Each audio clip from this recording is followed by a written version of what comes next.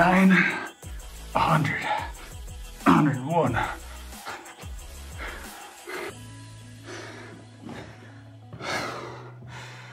All right. Well, I might not have done 101 push-ups right now. Maybe it's like 30 something. But I want to ask you, how much do you think my lungs are moving air, liters per minute? Five liters, 10 liters? How much blood do you think my heart is pumping per minute, liters per minute? If you had to guess, how much do you think mine normally pumps? Well, if I could talk right now, I'd actually start this video.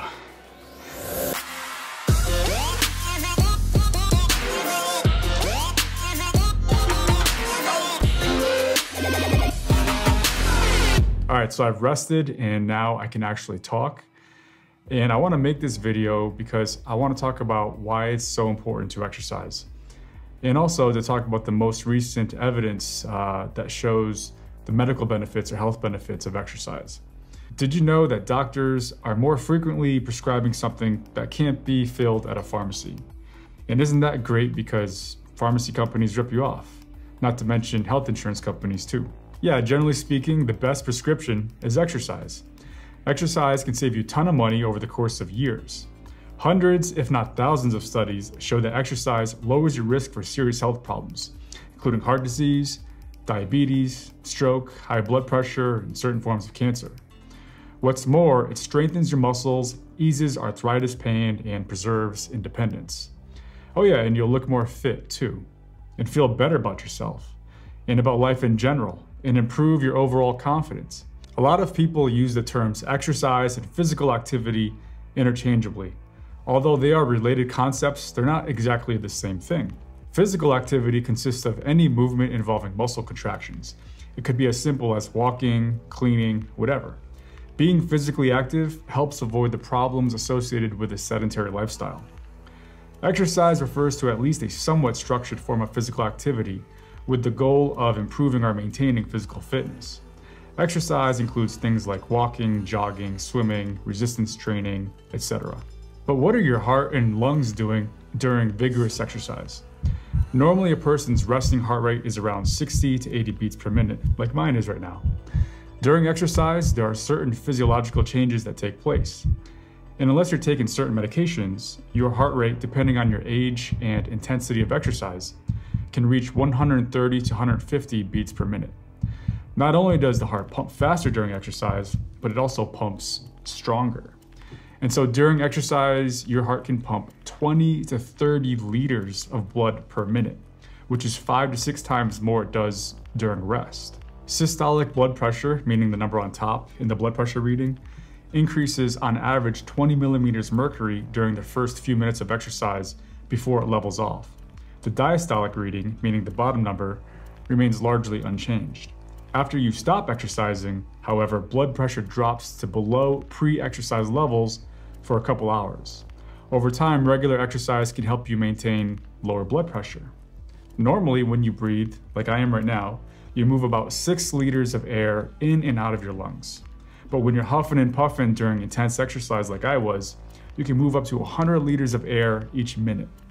So that's what happens during exercise. So what can exercise do for you over the long term? Adding as little as 30 minutes of moderately intense exercise to your day improves health and extends life. But even shorter amounts of exercise can make you healthier. Extensive studies have shown that for people who've been previously inactive, as little as an hour of walking a week can reduce the risk for stroke and heart disease and overall cardiovascular disease. Other benefits include decreased anxiety, better sleep, lower blood pressure, better blood sugar control, and improved cognitive function. All right, so let's dive a little deeper and talk about preventing cardiovascular disease. Cardiovascular disease is the leading cause of death in the US, but it doesn't have to be this way. There was a review article published in 2015 in the British Journal of Sports Medicine that showed that regular moderate exercise can reduce the risks of dying from cardiovascular disease or stroke as effectively as many medications. as effectively as many medications. Yeah, I said it twice. That's some powerful stuff right there. But what about lowering blood pressure? Having high blood pressure doubles or triples your risk for developing heart failure and can lead to other cardiovascular disease as well. This includes things like stroke, aortic aneurysms, kidney disease, and eye disease. When you're exercising, blood pressure temporarily rises as the catecholamines are flowing, and your cardiovascular system works harder to pump more blood. But after you exercise, your baseline blood pressure drops to lower levels. With regular exercise, systolic blood pressure usually falls around 5 to 10 millimeters mercury, depending on the individual. Exercise also prevents plaque buildup in arteries. Healthy arteries means clean arteries. Fatty plaques build up as articles of LDL, meaning the bad cholesterol, attach to portions of artery walls. This causes narrowing of these vessels and impeding the blood flow. When this happens in the arteries carrying blood to the heart, meaning the coronary arteries, it can lead to angina, a type of chest pain. If that plaque ruptures, it can cause a heart attack. The same thing can happen in the arteries that feed the brain, except we call that an ischemic stroke. But guess what exercise does? It helps keep the inner lining of the arteries less prone to plaque formation. And what's even better is that studies have repeatedly shown that moderate to vigorous aerobic activity increases the good cholesterol, HDL. On average, it raises HDL about 5%. Our buddy HDL transports fats back to the liver, preventing their accumulation in the arterial walls. For every 1% increase in HDL, the risk of dying from heart disease decreases by 3.5%. Exercise also makes the platelets in the blood less sticky and promoting the release of enzymes that break down clots. So this lowers the risk of a heart attack or stroke developing. Exercise promotes the formation of new coronary arteries. When you exercise, your tissues need more oxygen-rich blood to be pumped to them. Regular aerobic exercise can lead to an increase in the size and number of coronary arteries. This provides new roads for oxygenated blood to reach the heart muscle. If an arterial blockage does occur, there's less risk of heart muscle damage because of these new roads that have been built. It's like the blood flow has an alternate route to travel during a traffic jam. This increased oxygen supply also offers some protection against dangerous heart rhythm abnormalities. Inflammation is the body's way of fighting disease and or healing an injury. Inflammation can be due to infection, cancer, heart disease, or can be autoimmune. Whatever the cause, inflammation means that levels of a substance produced in the liver called C-reactive protein rises. People with high levels of CRP are at greater risk of developing heart disease, even if their cholesterol levels are normal. Regular exercise may help lower CRP levels. Of all the 30 million Americans who have diabetes, the vast majority have type 2 diabetes. People with type 1 diabetes require insulin, but not all people with type 2 diabetes require insulin. Some people can lessen the severity of or even rid themselves of type 2 diabetes. And this is done by exercise and eating healthier. Type 2 diabetes, just like type 1, can lead to high blood pressure, blindness, kidney disease, all forms of heart disease, strokes, and sometimes limb amputation. The best exercise to fight diabetes is with high intensity interval training, or HIIT. If you're not familiar with HIIT, it's a type of exercise in which you periodically pick up the pace of an exercise for 30 seconds, or about that, before going back to your previous level of exertion for a minute or a few minutes. This is the one type of exercise to get the maximal carbohydrate storage breakdown. The intense muscle contractions of high intensity interval training causes muscle cells to become very responsive to insulin. And if you wanted to turbo boost that effect, add some resistance training to your routine, meaning strength training. This is because strength training builds muscle or at the very least maintains the muscle you already have. The more muscle there is, the more glucose burning cells you have, as opposed to fat cells which merely store energy. So there was a study done in the Journal of the American Medical Association. It showed that a combination of aerobic exercise and strength training lowered blood sugar levels more than either one alone. The latest research shows that exercise can help protect you from certain types of cancer. This includes breast cancer, colorectal, endometrial, bladder, esophageal, kidney, lung, and stomach cancer. According to the strongest available evidence, it takes at least 30 to 60 minutes daily of moderate to vigorous activity to lower the risks for colon and breast cancers. How exactly it lowers the risk is still unknown. Your bones will peak in strength and size by age 30. If you already hit the 30 year old mark, join the club. After age 30, bones tend to slowly become less dense as years go by and can lead to osteoporosis.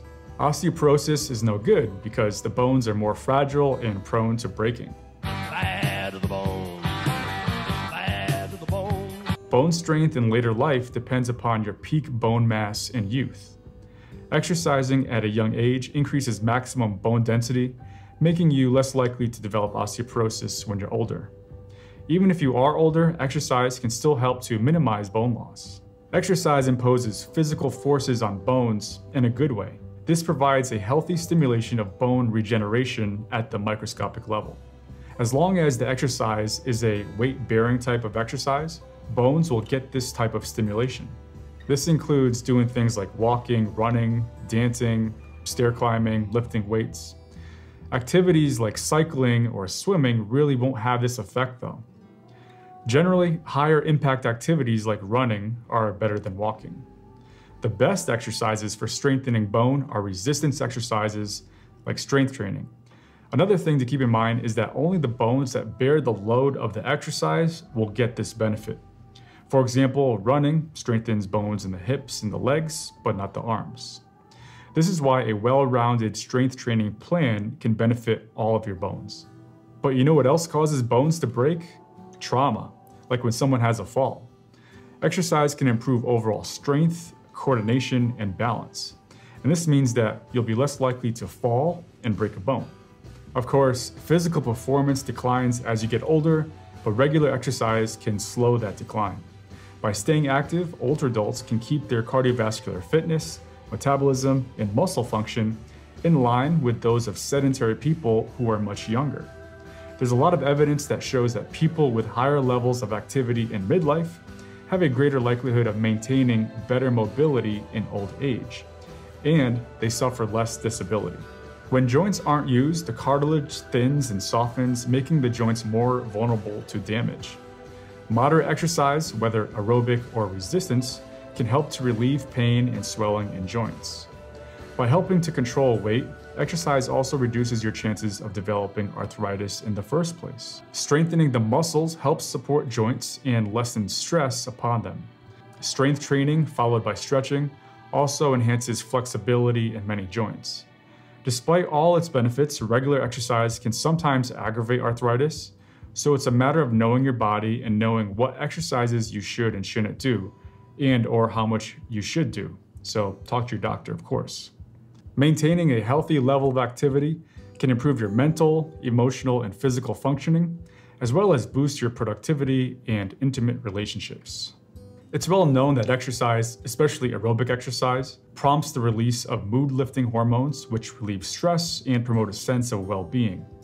In addition, the repetitive cycle of muscle contraction and release that takes place in yoga or in aerobic pursuits such as walking and swimming increases levels of the brain chemical serotonin, which combats negative feelings. A number of antidepressants work by helping to raise serotonin.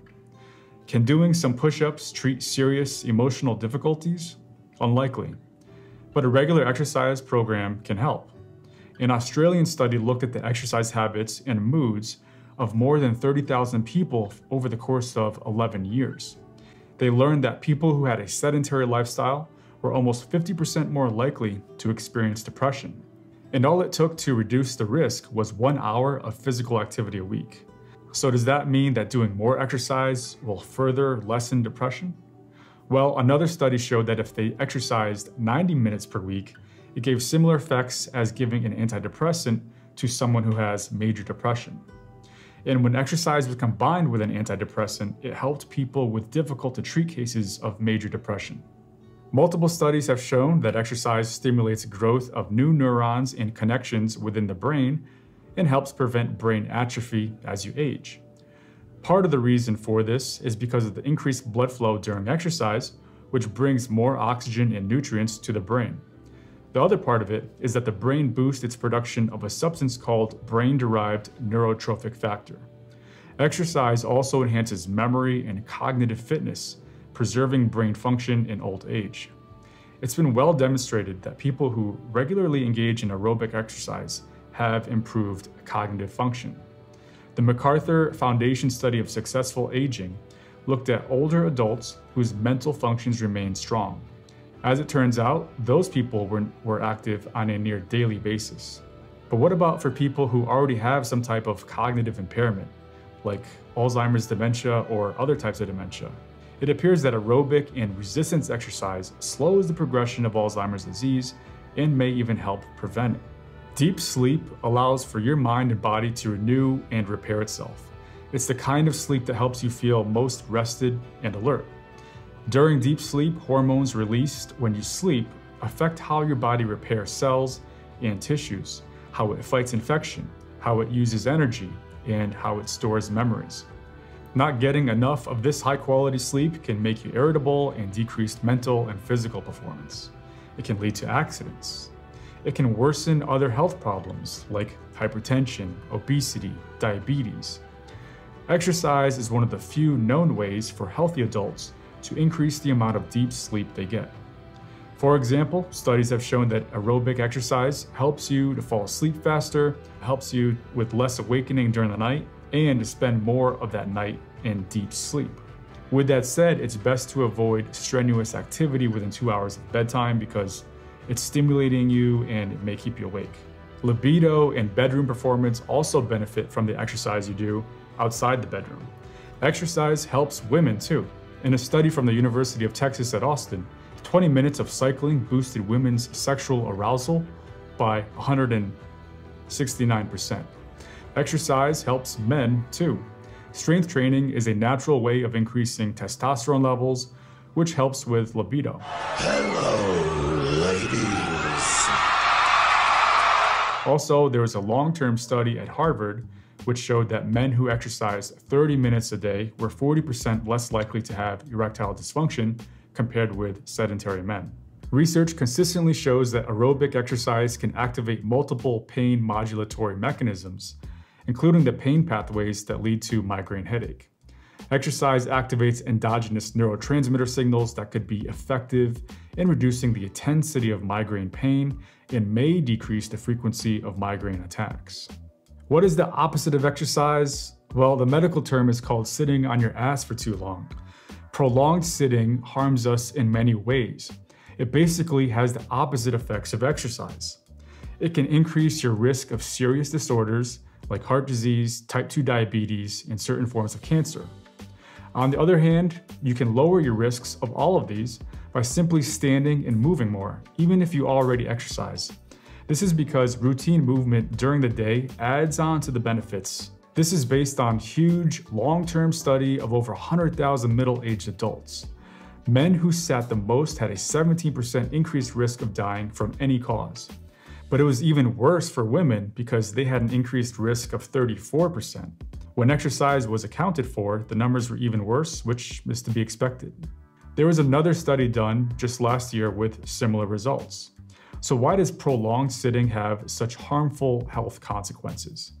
One theory is that when you're not contracting your largest muscles, that means muscles utilize less sugar from the blood, and that in theory would raise the risk of type 2 diabetes. Also, the enzymes that break down triglycerides become less active, causing the good cholesterol, meaning HDL, to be lowered. And this increased the risk of heart disease. Being physically active can not only improve your health, but it can also extend your life. There are multiple studies done in the Journal of Aging Research which showed that active adults stood to gain two to five more years of life depending on how intense their exercise regimen was and how often they exercised.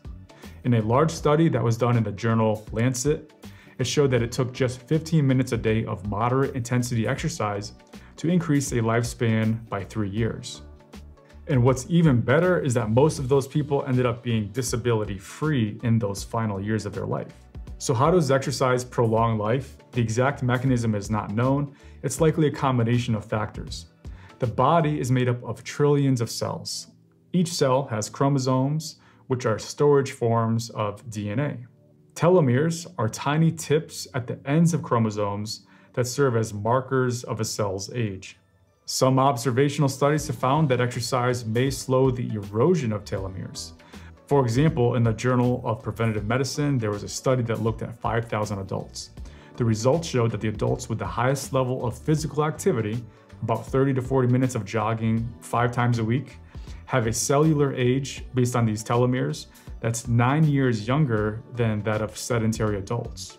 And more research is being done on this as we speak. So that's the latest uh, on the benefits of exercise. Hope you enjoyed this video and be sure to give it a like if you did like it and subscribe and I'll see you in the next one.